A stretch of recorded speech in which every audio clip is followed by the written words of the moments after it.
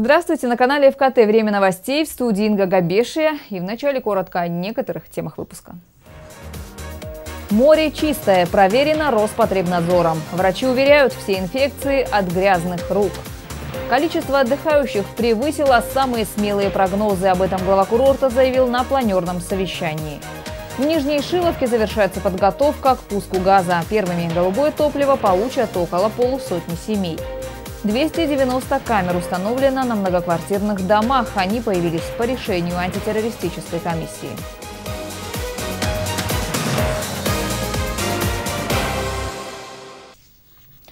Гостиницы Черноморского побережья на Кубани загружены на 90%. В отеле на Азовском море больше, чем наполовину. Промежуточные итоги туристического сезона подвели в Краснодарском крае. По словам губернатора Вениамина Кондратьева, с начала лета в регионе отдохнули больше трех с половиной миллионов туристов. При этом на сентябрь все места в гостиницах и отелях практически раскуплены. По заявлениям главы региона, это означает, что высокий туристический сезон на Кубани продолжится не с июня по август, а вплоть до октября.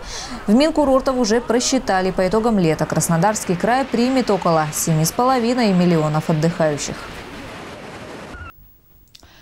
Но море и солнечные ванны полезны только в том случае, если соблюдать рекомендации врачей. Это касается в большей степени, конечно, гостей курорта. Не купаться в шторм, носить головные уборы, сократить время пребывания на солнце. А эпидемическая обстановка на курорте нормальная и пробы морской воды соответствуют гигиеническим нормативам. В этом убедилась Елена Овсецина.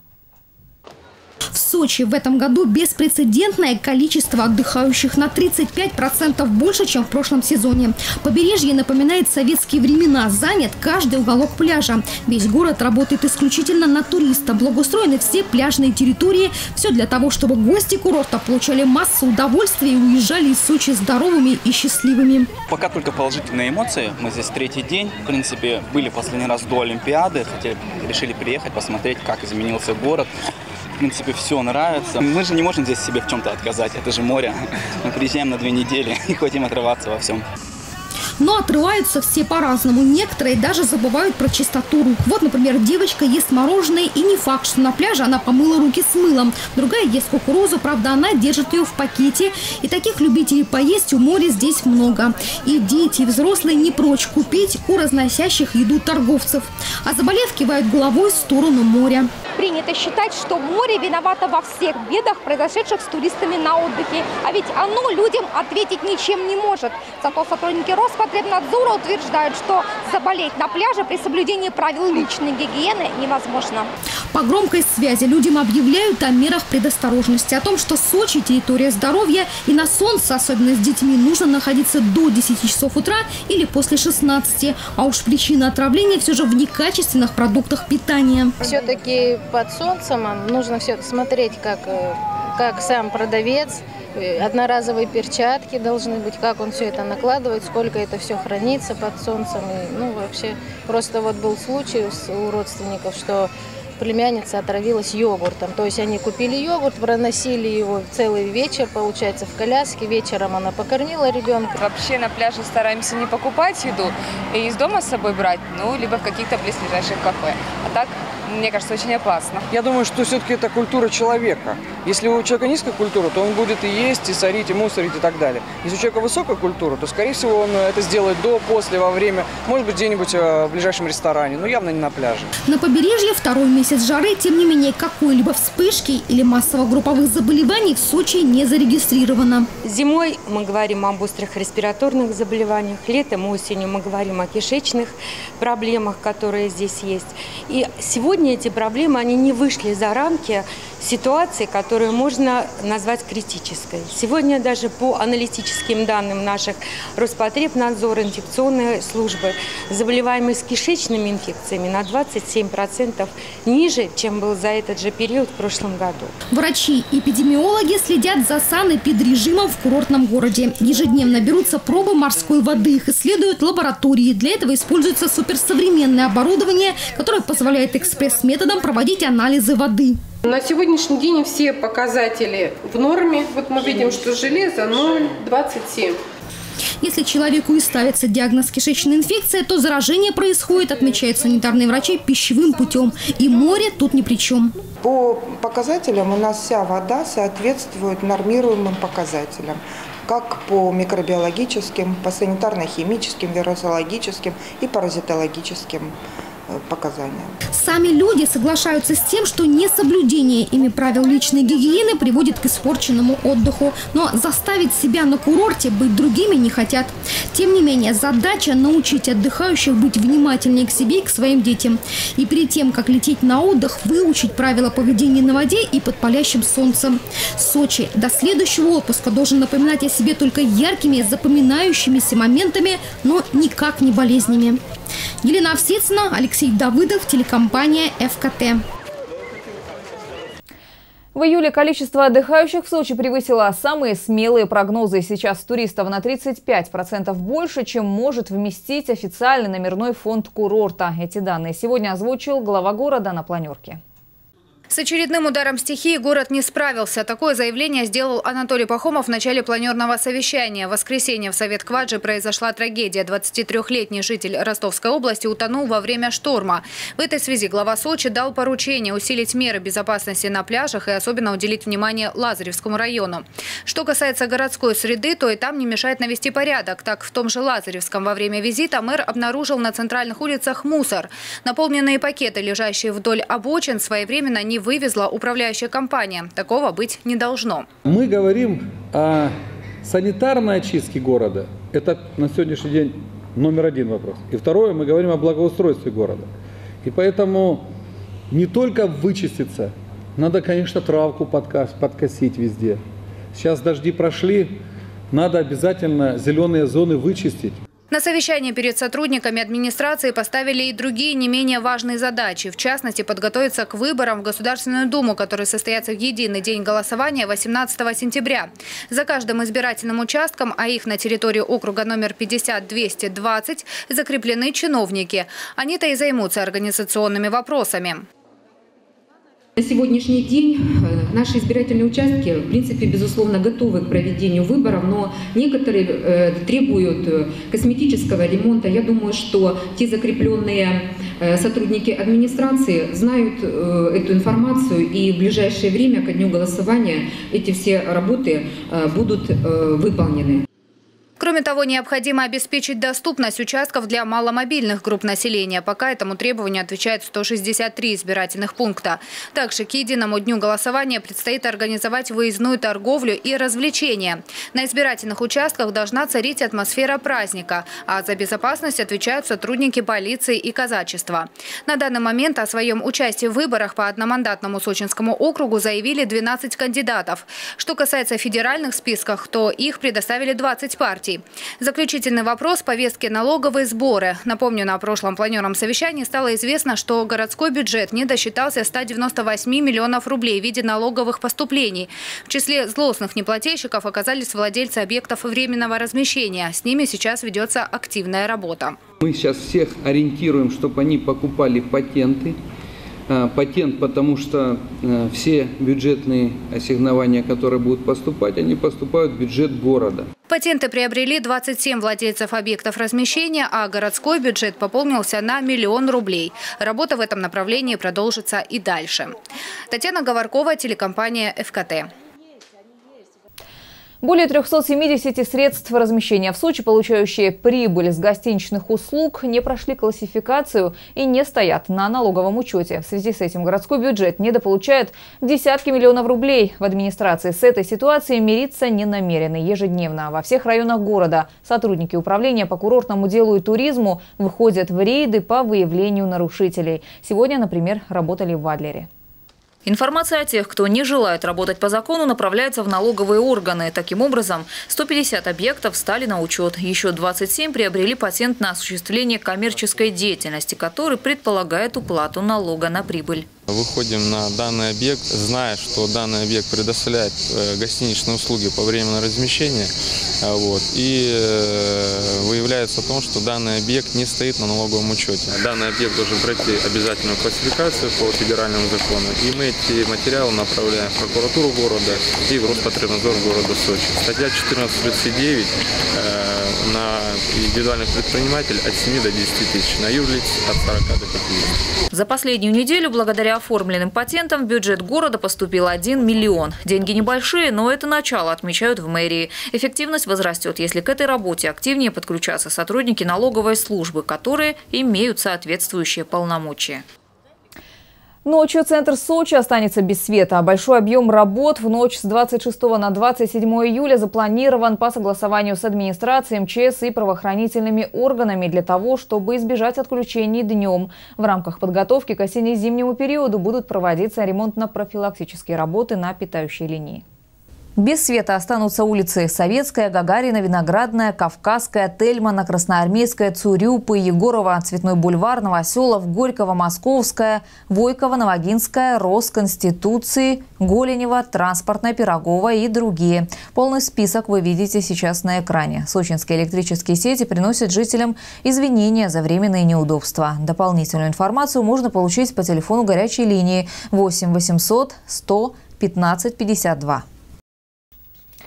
В Нижней Шиловке завершается подготовка к пуску газа в дома. Первыми голубое топливо получат около полусотни семей. Это сочинцы, которые раньше своих соседей оформили все документы и установили в своих домах необходимое оборудование. Напомню, газ в села Адлерского района пришел в конце весны этого года. А тогда, после вмешательства мэрии курорта, суд поставил точку в многолетней истории с прокладкой магистральной трассы и передачей новых коммуникаций компании «Сочигоргаз». Чтобы ускорить процесс, сотрудники администрации сельского округа раздают людям листовки с пошаговой информацией о подключении к сетям. На данный момент осуществлен пуск газа в сети низкого давления. Любой желающий может обратиться в «Сочигоргаз» для, для получения бесплатно технических условий. После этого он выполняет уже проект. После выполнения проекта выполняются монтажные работы и непосредственно осуществляется уже пуск газа. В настоящее время э, организована работа штаба. Если возникают какие-то проблемные вопросы или что-то людям непонятно, люди к нам обращаются, мы оперативно эти вопросы решаем. Работы по газификации села Адлерского района контролирует глава города. Мэр распорядился максимально упростить для владельцев домов процесс оформления документации. В общей сложности только в Нижнешиловском сельском округе благодаря новым коммуникациям голубое топливо придет в дома более двух с половиной тысяч сочинцев. По поручению вице-премьера правительства Ольги Голодец на курорте проводятся внеплановые проверки предприятий. За оклады в конвертах руководители будут выплачивать по 100 тысяч за каждого неофициально оформленного сотрудника. Только за первый день работы ревизоров накануне было выписано штрафов на миллион рублей. Сегодня проверяющие побывали в одном из гостевых домов в Дагомысе. Государственная инспекция труда в Краснодарском крае уже не первый раз посещает этот объект. Хозяйку «Белой волны» о своем повторном визите ревизоры уведомили заранее. Но в день проверки на месте руководителя снова не оказалось. Впрочем, как выяснили инспекторы по труду, на этом объекте нет и администратора. И непонятно, кто же предоставляет услуги гостевого дома отдыхающим. Услуги с питанием, проживанием. А, есть но также на сайте положительные отзывы э, по отношению к персоналу данного гостевого дома. Э, но тем не менее, второй раз мы приезжаем на данный объект. Администратора на месте нет. Все себя представляют как родственниками, там, сестрой, братом, которые приехали погостить к своим же да, родственникам. Поэтому сталкиваемся вот с, с такими проблемами, в связи с чем приходится привлекать сотрудников полиции. Даже семейный бизнес не может вестись без соблюдения законодательства. Трудовые отношения должны быть оформлены согласно кодексу, и от заработной платы сотрудников должны поступать в казну налоги. Штатное расписание хозяйка «Белой волны» по всей видимости не соблюдает, так как проверяющим не были предоставлены документы свидетельства, ЕНН и другие. По данному факту были составлены протоколы, а предприниматель привлечен к административной ответственности. Кроме того, по этому объекту проведут проверку законности классификации. Гостевой дом имеет две звезды. Посетят «Белую волну» и сотрудники Роспотребнадзора. Сейчас решается вопрос и о приостановке деятельности гостевого дома. Накануне свой профессиональный праздник отметили сотрудники Следственного комитета. Его деятельность подотчетна непосредственно президенту России. Комитет был создан ровно пять лет назад и в канун праздника подведены первые итоги.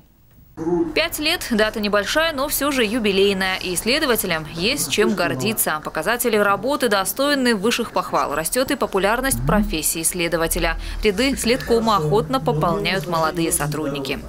Приходящие сотрудники не считаются ни с личным временем, ни со своими какими-то личными вопросами. Э, полностью отдаются служению государству. Э, результатом этого мы видим, что на сегодня у нас э, стопроцентная раскрываемость э, убийств. С профессиональным праздником работников следственных органов поздравил мэр города Анатолий Пахомов. Самое страшное, чего не может пережить любой человек, это несправедливости. Так вот, ваша специальность – это восстановить эту справедливость. И, естественно, вы как раз заслуженно можете говорить о том, что вы все делаете для того, чтобы эту главную справедливость восстанавливать. Завершилось торжественное собрание награждением. Нескольким сотрудникам следственных органов вручили медали за безупречную службу. 290 камер видеонаблюдения уже установлено на фасадах многоквартирных сочинских домов. Их появление – результат решения, которое было принято в апреле антитеррористической комиссии Сочи. Цель установки видеокамер – снижение количества преступлений. Школа, магазины у дома номер 6 по улице Пирогова всегда многолюдные. Это видно не только невооруженным глазом, но и через объективы видеокамер. Есть они и на фасаде дома, и внутри. О своей безопасности в этом товариществе собственников жилья начали задумываться давно. Установили металлическую дверь в подъезде, затем кодовый замок. Этого оказалось недостаточно. И решение установить видеокамеры одобрили практически все. Но зато и результаты сделанного могут увидеть все, и не только жители подъезда. Изображение идет напрямую в ситуационный центр. Если оператор заметит что-либо подозрительное, сразу сообщит в полицию, либо в пожарную службу. Что происходит у дома, в подъезде, на этажах, могут видеть через компьютер или телефон и жители квартир. Деньги на установку камер, подключение к системе накопили, собирая плату с провайдеров. У нас проходил этот ремонт. Э, мы специально выделили отдельный шкаф, в котором потребление электричества общедомовое идет отдельным счетчиком. Как правило, провайдеры оплачивают потребление электроэнергии согласно счетчиков и плюс еще платят за аренду э, данного оборудования. Есть два варианта подключения к системе. Установить камеры и прямо в доме разместить сервер. Изображение пойдет в ситуационный центр, но жители дома смогут в любой момент сами пересмотреть записи. Другой вариант, менее затратный, делать все через сервер интернет-провайдера. Когда видит э, человек, что там снимает видеокамера, то он уже меньше вероятно, что он совершит какое-то правонарушение.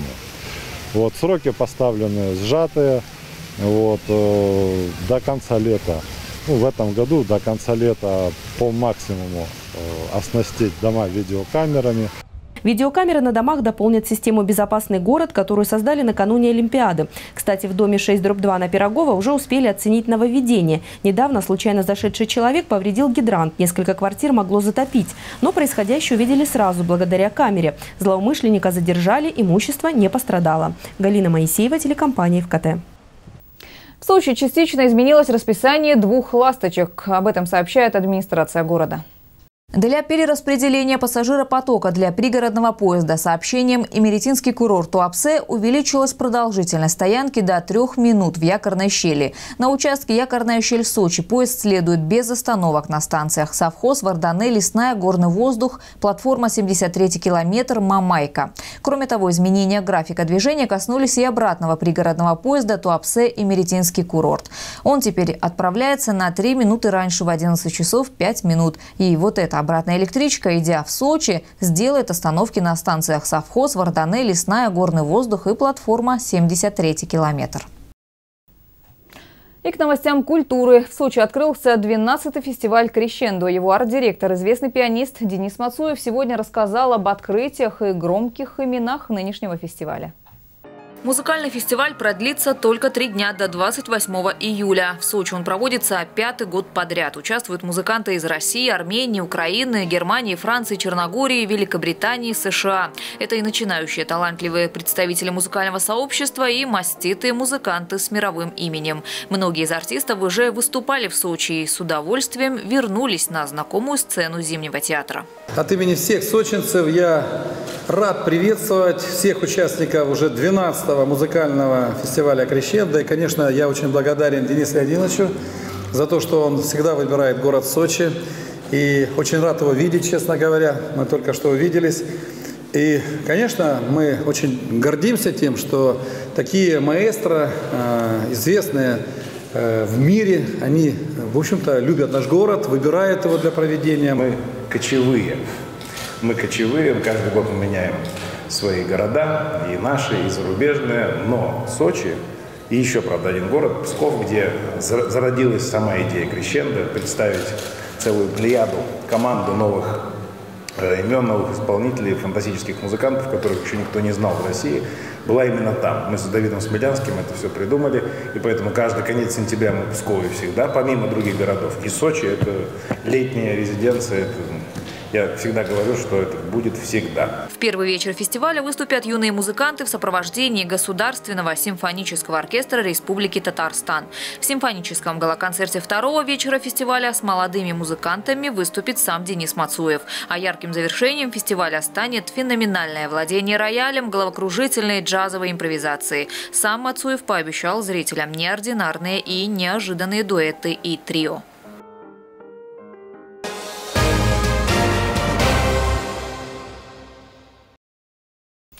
Серебро, привезенное с первенства мира, сочинец Вячеслав Яркин передает в Музей спортивной славы. Сегодня тяжелоатлета чествовали в администрации курорта. Вячеслав Яркин – воспитанник Сочинского детско-юношеского физкультурно-спортивного центра по тяжелой атлетике, стал серебряным призером первенства мира среди юниоров. Соревнования проходили в Тбилиси. Туда спортсмен поехал с травмой и на помосте в Грузии был повторно травмирован. Но стремление и упорство все же помогли подняться сочинцу на пьедестал. Такого результата Яркин добился, подняв в сумме 333 килограмма. В принципе, доволен. Тоже был не в форме, но видно, что не первое место. Всегда победы хочется на соревнованиях, какие бы не были. Будем готовиться к э, первенству Европы по юниорам. Ну, там, надеюсь, уже победа будет. Как известно, Вячеслава Яркина тренирует родной брат Владислав Яркин. Этому победному тандему сегодня и вручили благодарственные письма. Рады тому, что в городе Сочи все-таки э, развивается достаточно серьезный вид спорта, чему свидетельствует результаты непосредственно самого Вячеслава. Безусловно, я хочу пожелать, Вячеслав, чтобы э, выступал ты э, с теми же успехами, но выступал уже э, на взрослых соревнованиях. Я считаю, что, в принципе, потенциал у тебя есть, поскольку из года в год ты подтверждаешь Э, свои возможности. На первенстве мира в Тбилиси Вячеслав выступал как лидер сборной России. Таковым его видят и в следующем олимпийском цикле. И на сегодня это все новости. Завершаем выпуск информации от наших партнеров. Сеть салонов ткани для дома предлагает широкий ассортимент тканей, текстиль, постельное белье и пошив штор на заказ. Ну а все новости уже на нашем сайте fkt.com. В студии была Инга Габеша. Всего вам самого доброго и до встречи в эфире.